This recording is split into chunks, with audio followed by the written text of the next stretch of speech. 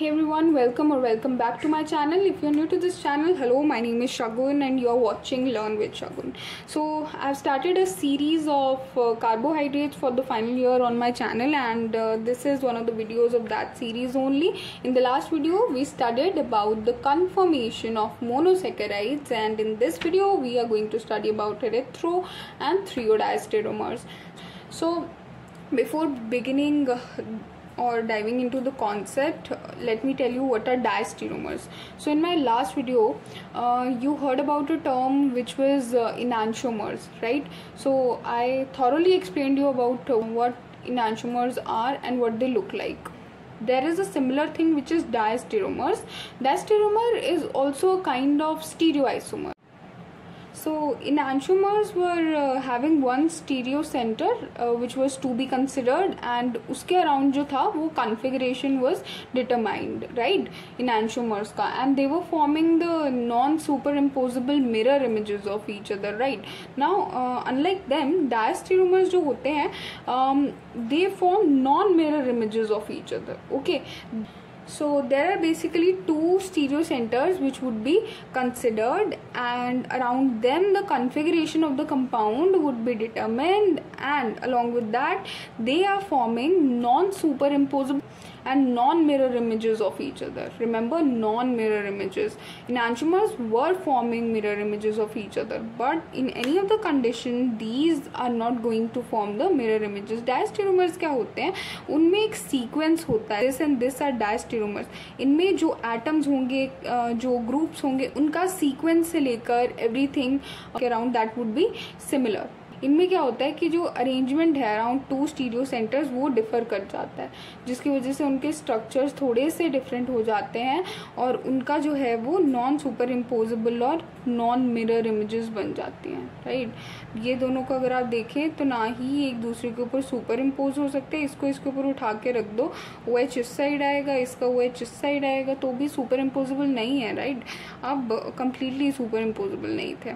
अब non mirror images क्यों? क्योंकि क्या, सी, क्या ये इसकी मिरर इमेज है? नहीं है।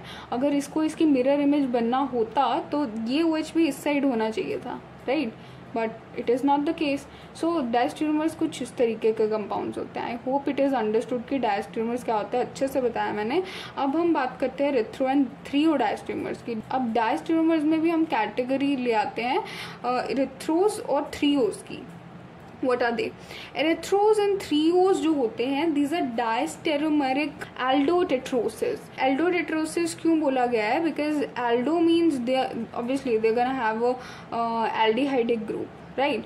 And now tetrosis tetrosis is four carbon atoms. See, one, two, three, four. Backbone में फोर है सो इट्स अ tetrosis. क्या होते हैं ये? Erythrose and threose are diastereomeric aldotetroses having two adjacent stereo centres इनके पास क्या होते हैं? दो एडजेसेंट स्टीरियो सेंटर्स होते हैं जिन्हें कंसिडर किया जाता है ओके इन एरेथ्रोज एरेथ्रोज में क्या होता है? O H group are present on the same side of Fischer projection तो अब यहाँ पे ओ OH जो है दोनों ही स्टीरियो सेंटर्स के सेम साइड में प्रेजेंट है. So so, in that case they would be called as erythrose okay और अगर वो ओपोजिट साइड्स पे प्रेजेंट है, पहले स्टीरियो सेंटर के ये लेफ़्ट में है, दूसरे स्टीरियो सेंटर के राइट में है। So it would be called as a threose there would not be always this H and O H case okay there can be other atoms और groups right there तो उसमें भी इनकी naming की जाती है on the basis of the erythrose and threose thing this has given rise to a system of denoting diastereomers with now if you have to differentiate so you have to give it a name right this has given rise to a system of denoting diastereomers with two adjacent stereocenters in which at least one group or atom should be attached to both of them is same now uh, the criteria is कि at least one जो group है जैसे यहाँ पे तो दोनों ही same है H H and O H O H criteria क्या होता है कि एटलीस्ट एक तो सेम होना चाहिए ओके okay?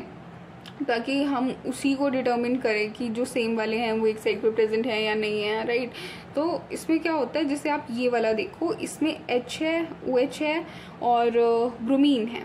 राइट? अब हम देखेंगे जो सिमिलर वाले होंगे। यहाँ पे हाइड्रोजन है सिमिलर राइट अब हम हाइड्रोजन अगर सेम साइड पे होगा नाम क्या दिया हुआ इरिथ्रो बाकी तो नेमिंग वैसे ही रहती है। थ्री ब्रोमो थर्ड कार्बन पे ब्रोमीन है तो थ्री ब्रोमो अकॉर्डिंग टू नॉमन ही चल रहे हैं हम। एंड टू ब्यूटेनोल ठीक है? सेकेंड पोजिशन पे आपका एल्कोहलिक ग्रुप है so it is two butanol butanol क्यों? चार कार्बन एटम्स थे तो four carbon atom alcohol is butanol right so look at this इसमें क्या है कि हाइड्रोजन जो हैं, जो कि सिमिलर थे, जिन्हें हम कंसिडर करने वाले थे, वो अपोजिट साइड्स पे प्रेजेंट हैं। So that's why it is given a name of three O three bromo two butanol everything else go same this is it for this easy TG concept in the next video would be starting about epimerisation so state you thanks for watching